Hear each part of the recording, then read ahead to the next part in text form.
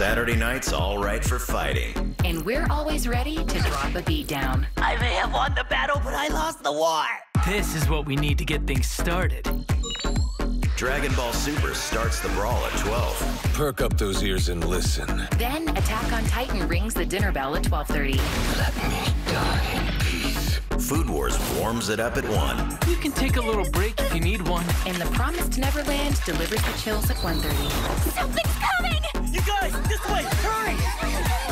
Force brings the heat at 2. Return to the great flame. Black Clover casts a spell at 2:30. Didn't see that coming. Shippuden rumbles in at 3. Itachi! And Demon Slayer shuts it down at 3:30. Toonami, next Saturday night from midnight to 4. Isn't that super? Ah, only Toonami on Adult Swim. Who loves you, baby?